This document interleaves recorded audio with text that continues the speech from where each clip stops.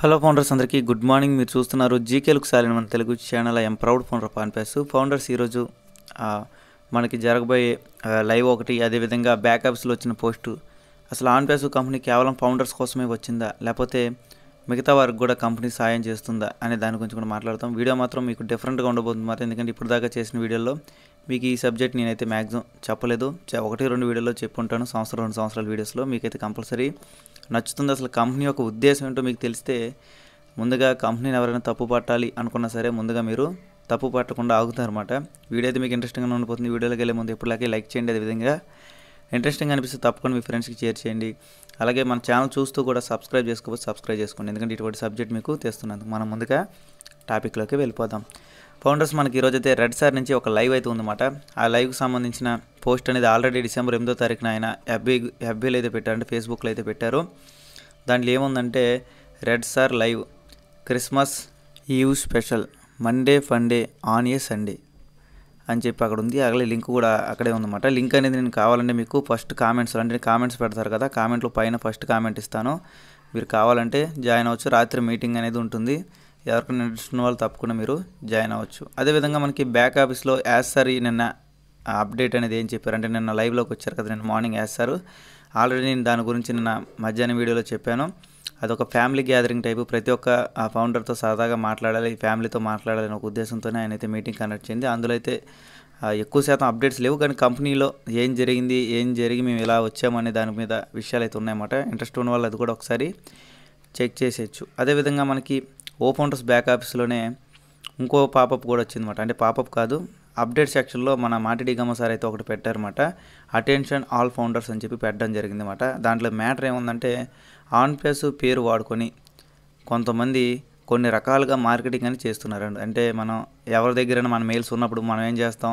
మన పేరు ఊరు మార్చేసి కంపెనీ నుంచి పేరు కంపెనీ నుంచి ఒక మెయిల్ వచ్చినట్టు ఆన్ పేస్ నుంచి పంపించి మీకు పలానా ఇంత అమౌంట్ అని కట్టండి మీకు ఓకనట్లో ట్రాఫిక్కి వేస్తాము లేదంటే ఇంత అమౌంట్ అనేది కట్టండి మీకు వెంటనే డబ్బులు వేస్తామని ఒక ఫేక్ మెసేజ్ అనేది క్రియేట్ చేసి మరీ ఫౌండర్స్కి అయితే పంపించడాలు జరుగుతున్నాయన్నమాట కంపెనీ నుంచి అఫీషియల్గా అవి అయితే రావడం లేదు. కొంతమంది ఫౌండర్స్ కావాలనే చేస్తున్నారు. కాబట్టి దీని గురించి మనం మాట్లాడి సార్ మీరు చేస్తున్న పని ఏదైతే ఉందో మీరు కంపెనీని ఒక ఎంఎల్ఎం స్ట్రక్చర్ కింద వేరే వాళ్ళకి పరిచయం చేయడంతో పాటు ఎంఎల్ఎం వాళ్ళకి మన డీటెయిల్స్ అనేది మీరు అమ్ముతున్నారు అని చెప్పి చెప్పడం జరిగిందన్నమాట. కాబట్టి దయచేసి ఎవరైనా ఇటువంటి పనులు చేసినట్టయితే అంటే మీరు ఎవరికైనా తప్పుడు మెయిల్స్ కావాలని ఆన్ పేసు పేరుతో పంపించినట్టయితే దయచేసి అటువంటి ఆపేయండి. ఎందుకంటే దీనివల్ల కంపెనీకి నష్టం ఉంటుంది. అలాగే ఎన్డీఏ సిగ్నే సిగ్నేచర్ చేసిన ప్రతి ఒక్కరూ మీరు దాంట్లో ఉన్న రూల్స్ అండ్ రెగ్యులేషన్స్ ఫాలో అవ్వాలి. మీరు ఇటువంటి పనులు చేస్తే కంపల్సరీ మీరు కంపెనీ విధి విధానాలని ఉల్లంఘించినట్టే. అంటే కంపెనీలో ఎన్డీఏలో సైన్ చేసిన ప్రతి ఒక్కరూ కంపెనీ చెప్పిన పనులు కాకుండా సొంతంగా ఏం చేసినట్టయితే కంపెనీ విధి విధానాన్ని మీరు ఉల్లంఘించినట్టయితే ఉల్లంఘించినట్టు. కాబట్టి మీ యొక్క ఐడి అనేది బ్లాక్ చేయబడుతుంది. ఎటువంటి రిమాండ్ లేకుండా అంటే ఎటువంటిది చెప్పకుండానే బ్లాక్ చేయబడుతుంది. దయచేసి జాగ్రత్తగా ఉండండి అని చెప్పి మనకైతే మార్టిడేగా సార్ అయితే ఓ ఫౌండర్స్ బ్యాక్ ఆఫీస్లో పెట్టారనమాట మనకు బ్యాక్ ఆఫీస్ బ్యాక్ ఆఫీస్ అంటే ఏం కాదండి ఓఈఎస్ కానీ ఓ ఫౌండర్స్ కానీ ఏదైనా సరే అప్డేట్ సెక్షన్లో ఏదైతే మ్యాటర్ ఉంటుందో దాన్ని మనం బ్యాక్ ఆఫీస్ అప్డేట్ అంటామన్నమాట. ఎందుకంటే చాలామందికి బ్యాక్ ఆఫీస్ అంటే ఏంటో కూడా చాలామందికి తెలియదు నిజంగా చెప్పాలంటే. ఎందుకంటే బ్యాక్ ఆఫీస్ అంటే ఏంటి సార్ అని కూడా చాలామంది అయితే నాకైతే కామెంట్స్ పెట్టడం జరిగింది. ఓకేనా? బ్యాక్ ఆఫీస్ అంటే ఓఈఎస్లో ఓపెన్ చేసినప్పుడు వచ్చేది ఏదైతే ఉంటుందో అది అప్డేట్ సెక్షన్లో. అదేవిధంగా ఓ ఫండ్స్లో కూడా ఓపెన్ చేసినప్పుడు వచ్చే అప్డేట్ సెక్షన్లే బ్యాక్ ఆఫీస్ అని మనం అంటూ ఉంటాం. ఓకేనా? మీకు ఈ రెండు క్లియర్ అసలు లెక్క ప్రకారం మన ఆన్పేస్ కంపెనీలో మన ఫౌండర్స్ అందరూ ఒక ఫ్యామిలీలాగా ఎలా కలిసి అనేది చిన్న ఉదాహరణ చెప్పినట్టయితే డిసెంబర్ తొమ్మిదో తారీఖు నా బర్త్డే అప్పుడు మన ఫౌండర్స్లో చాలామంది అయితే నాకు విష్ చేశారు. దాదాపు రెండు వేల ఆరు వందల మంది కామెంట్స్ అయితే నాకు వచ్చినాయి. ఫస్ట్ టైం మన హిస్టరీ రిపీట్ మాట. రెండు వేల ఆరు వందల కామెంట్స్ అప్పుడు కూడా నాకు పదకొండు వందల కామెంట్స్ రావడం కూడా అదే హిస్టరీ రిపీట్ అనుకోవచ్చు. ఎందుకంటే ప్రతి ఒక్క ఫౌండర్ ఎవరు శుభ్రంగా మంచిగా మనకు అప్డేట్ ఇస్తున్నారు ఎవరు మనకి ఏదైనా మెసేజ్ పెట్టినప్పుడు రిప్లై ఇస్తున్నారు అన్నీ చెక్ చేసుకుంటారు. పలానప్పుడు వాళ్ళకి మన మీద కోపం వచ్చినా మళ్ళీ వాళ్ళే సర్దుకొని మన కోసం ఒకరోజు కాకపోతే ఒకరోజైనా మనకి మంచి అప్డేట్స్ ఇస్తున్నారు ఒక ఉద్దేశంతో ప్రతి ఒక్క ఫౌండర్ అయితే కలిసి ఉన్నారు. అసలు ఆన్ బేసిలో కులం ప్రాంతం వర్గం రంగు రుచి ఎటువంటి భేదాలు లేకుండా కలిసి ఉన్న ఒకే ఒక్క ప్లాట్ఫామ్ ఏదైనా ప్రపంచంలో ఉంది అంటే అది ఆన్ మాత్రమే. ఎందుకంటే మన దాంట్లో దాదాపు రెండు వందల కంట్రీస్కి సంబంధించిన ఫౌండర్స్ ఉన్నాం. మనందరికీ కులాలు వేరే ఉండొచ్చు ప్రాంతాలు వేరే అయి ఉండొచ్చు మతాలు వేరే ఉండొచ్చు మన రంగు వేరే ఉండొచ్చు అలాగే మన రుచులు మనకు టేస్ట్లు ఏవైతే ఉన్నాయో అవి వేరే ఉండొచ్చు. కానీ ప్రతి ఒక్కరు చెప్పుకునేది ఏంటంటే మేము ఫౌండర్స్ అని చెప్పుకుంటాం గర్వంగా. కాబట్టి ఇలాంటి ప్లాట్ఫామ్ని మన ఆన్ పేస్ అనేది మన అందరిని కలిపి ఒక ప్లాట్ఫామ్ మీదుగా చేసినందుకు నాకైతే చాలా హ్యాపీగా ఉంది. కాబట్టి ప్రతి ఒక్కరూ ఏదైనా సాధించాలి ఒక ధ్యేయంతోనే ఆన్ పేస్లోకి ఒక మంచి గోల్తోనే మంచి లక్ష్యంతోనే ఆన్ పేస్లోకి వచ్చారు. కానీ ఇక్కడ మీరు తెలుసుకోవాల్సింది ఏంటంటే ఆన్ పేస్ కేవలం పద్నాలుగు లక్షల మంది ఫౌండర్స్కి మాత్రమే మెరుగుపరచడానికి వచ్చిందా అంటే కాదు. ఎందుకంటే ఆన్ పేస్ అనేది ప్రపంచంలో ఉన్న ప్రతి ఒక్క వ్యక్తిని ఆర్థికంగాను మానసికంగాను అదేవిధంగా ఫైనాన్షియల్గాను ప్రతి ఒక్కరిని మెరుగుపరచడానికి వచ్చిన ఒకే ఐటీ సంస్థ అన్నమాట. దీనికి చాలా రకాల బాధలు ఇబ్బందులు పడుతూ చాలామంది అయితే వెనకలాగుతూ ఉంటారు. ఎందుకంటే ఇప్పుడు మనం మంచిగా అప్డేట్స్ చెప్తున్నాడు మన తెలుగు ఆన్పేస్ యూట్యూబర్లో టాప్లో జీకే ఉన్నాడని చెప్పి ఆనందపడే వాళ్ళు చాలామంది ఉండొచ్చు. అలాగే కొంతమంది మనోడు టాప్లో ఉన్నాడు అయితే ఏంటి అని చెప్పి రిలాక్స్ అయ్యే వాళ్ళు కూడా ఉంటారు. అంతేగాని మనవడే కదా టాప్లో ఉన్నాడు మనవడే కదా కొంచెం ఎదుగుతున్నాడు ఎదిగితే మనకే మంచిది కదా. ఇంకా ఎదిగే కొలది ఎక్కువ మందితో పరిచయాలు పెరుగుతాయి ఆయనకి. ఆయన వల్ల మనకి కొత్త కొత్త విషయాలు తెలుస్తాయని చెప్పి ఎవరు అనుకోరు అన్నమాట. ఈ రకమైన వాతావరణంలో మనమైతే ఉన్నాం. ఇంకా కేజీఎఫ్ వన్లో డైలాగ్ కూడా నాకైతే ఇప్పుడు మళ్ళీ గుర్తొచ్చింది. స్వార్థంతో నిండిపోయిన ప్రపంచం ఎవరి కోసం ఆగదు మనమే ఆపాలి. అలాగే ఇక్కడ కంపెనీ అనే కాదు ప్రపంచంలో స్వార్థం అనేది ప్రతి ఒక్కరికి ఉంటుంది. మీకు కానీ నాకు కానీ ఎవరికైనా సరే స్వార్థం ఉంటుంది. ఏదో ఒక టైంలో ఏదో ఒక రూపంలో అదైతే బయటపడుతుందన్నమాట. కానీ మనం ఎప్పుడు స్వార్థపడాలి ఎప్పుడు ఆలోచించాలి ఎప్పుడు సాయం చేయాలి అనేది మన మైండ్ మనకే వదిలేస్తుంది. దాన్ని బట్టి మనం చేసే విధి విధానాలు కానీ పక్క వారికి చేసే సాయం కానీ ఆధారపడి ఉంటుంది. ఎందుకంటే చాలామంది కంపెనీ గురించి ఏ సబ్జెక్టు తెలియకుండానే ఎవరో వచ్చి ఇలా ఆన్ పేసులో జాయిన్ అవ్వండి జాయిన్ అయితే మీకు ఫ్యూచర్ బాగుంటుందని చెప్తే ఐడి తీసుకున్నారు. వాళ్ళకి కనీసం ఓమెయిల్ అంటే ఏంటో తెలియదు జీమెయిల్ అంటే ఏంటో తెలియదు కనీసం లాగిన్ అవ్వడం రాదు. బ్యాక్ ఆఫీస్ అంటే కానీ ఓ ఫౌండర్స్ అంటే ఏమీ వాళ్ళకి తెలియదు అన్నమాట. వాళ్ళకి తెలిసిందల్లా ఏంటంటే మేము కంపెనీలో డబ్బులు కట్టాము మేము ఫౌండర్మే మాకు డబ్బులు రావాలి అంతవరకే. ఈ రకమైన మైండ్ సెట్తో వాళ్ళు జాయిన్ అయినప్పుడు వాళ్ళకి మనకు ఓ ఫీచర్స్ వస్తున్నాయండి. ఓమెయిల్లో ఫీచర్స్ వస్తున్నాయండి.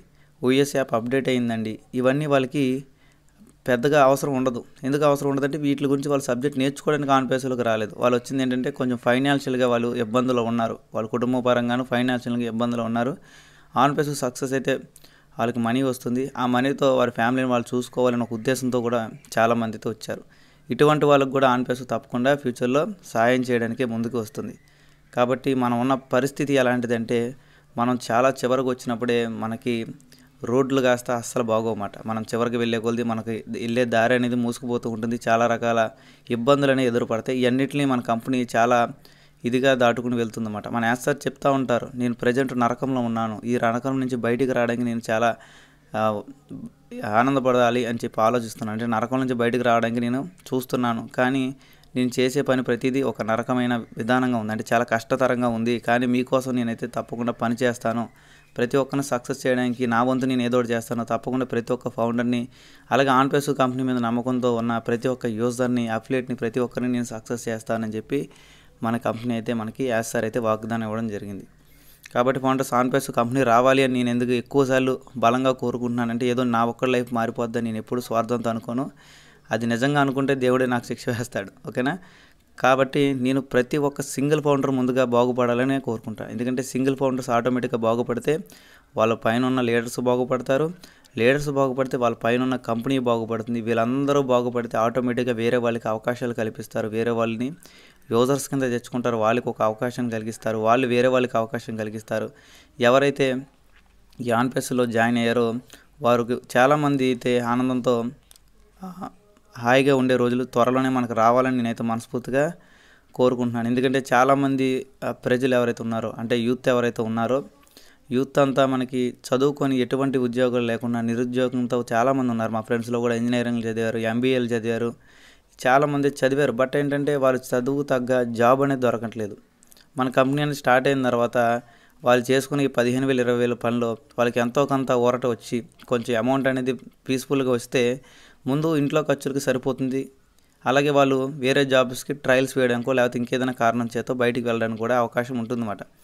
కాబట్టి ప్రతి ఒక్క నిరుద్యోగులకి ఒక సాయం కింద ఉంటుంది. అలాగే ఎవరైతే పేదవాళ్ళు కంపెనీలో ఉన్నారో మన ఫౌండర్స్ అలాగే ప్రపంచంలో ఉన్న ప్రతి ఒక్క పేదవాడి జీవితంలో ఎంతో కొంత మంచి ఉత్సాహమైన జీవితాన్ని తేవాలని చెప్పే కంపెనీ అనేది ప్రయత్నం చేస్తుందన్నమాట. ఇదే మన ఆన్పేస్ యొక్క లక్ష్యం. అంటే ప్రపంచంలో ఉన్న ప్రతి ఒక్క పేదవాడు ఎటువంటి ఇబ్బందులు లేకుండా వారు తినడానికి ఉండడానికి ఏదో రకంగా సమకూర్చాలి అనే ఒక ఉద్దేశంతోనే మన కంపెనీ అనేది రాబోతుందన్నమాట. ఎందుకంటే నైజీరియాలో చాలా శాతం మనకి క్రైమ్ రేట్ ఎక్కువ. ఎందుకు క్రైమ్ రేట్ ఎక్కువ అంటే అక్కడ డబ్బులు అనేవి ఉండవు. వాళ్ళు తినడానికి కూడా చాలా ఇబ్బంది అవుతుంది. రీసెంట్గా నేను న్యూస్ ఒకటి చూసా వాళ్ళకి మనలాగా గ్యాస్ బండ్లు ఉండవంట. గ్యాస్ బండ్లు లేకపోతే వాళ్ళు గ్యాస్ని ఒక కవర్లో దొంగలించి తెచ్చుకుంటున్నారు. రెండేసి కేజీలు మూడేసి కేజీలు ఒక కవర్. ఒక పాలిథిన్ కవర్లో గ్యాస్ని వాళ్ళైతే దొంగలించి తెచ్చుకుంటున్నారు. చిన్న మిస్టేక్ జరిగినా సరే అది అక్కడే పేలిపోయి అక్కడ ఉన్న ఎవరైతే జనాలు ఉన్నారో వాళ్ళందరూ చచ్చిపోతారు. ఇంత రిస్క్ చేసి వాళ్ళు గ్యాస్ కోసం తెచ్చుకుంటున్నారంటే వారికి గ్యాస్ సౌకర్యం కూడా అక్కడ లేదు. ఇటువంటి పరిస్థితులు అయితే చాలామంది అయితే ఉన్నారు. మన ఇండియాలో మనం ఉన్నది ఇంకా చాలా మెరుగనే మనం అనుకోవాలి. ఎందుకంటే మనకన్నా దీన స్థితిలో చాలామంది ఉన్నారు. మనమే పేదవాళ్ళం అని మనం ఎప్పుడు అనుకుంటాం. కానీ మనకన్నా పేదవాళ్ళు ప్రపంచంలో ఏదో మూల ఎక్కడో చోట ఉంటూనే ఉంటారు. కాబట్టి ప్రతి ఒక్కరూ సక్సెస్ అవ్వాలి అంటే ఆన్ పేసు కంపెనీ అనేది సక్సెస్ అవ్వాలి ముందు. ఆన్ పేస్ కంపెనీ సక్సెస్ అయితే మనం వద్దు అనుకున్న ఆటోమేటిక్గా సక్సెస్ అనేది మన వెనకాల వస్తుంది. నేను ఏదో మోటివేషన్ కోసమో లేకపోతే నేను చెప్పగానే వెంటనే జరుగుతుందనో మీకైతే నేనైతే ఇది చెప్పడం లేదన్నమాట నేను అలాగే నాలాంటి చాలామంది ఫౌండర్స్ కంపెనీ సక్సెస్ అవ్వాలి. అయితే ప్రతి ఒక్కరు పేదవాడికి మంచి లైఫ్ ఉంటుంది. మంచి బెనిఫిట్స్ ఉంటాయని ఎవరైతే అనుకుంటున్నారో వారి తరపున నేనైతే వీడియో ఈ విషయం అయితే చెప్తున్నాను అనమాట వీడియోలో. ఓకేనా ఫౌండర్స్? మీకు వీడియో నచ్చింది అనుకున్నాను వీడియో నచ్చినట్లయితే లైక్ చేయండి. అదేవిధంగా ఇష్టంగా షేర్ చేయండి. ఇటువంటి లేటెస్ట్ అప్డేట్స్ కోసం చూస్తూనే ఉండండి. జీకేలకు సాలిమన్ తెలుగు ఛానల్.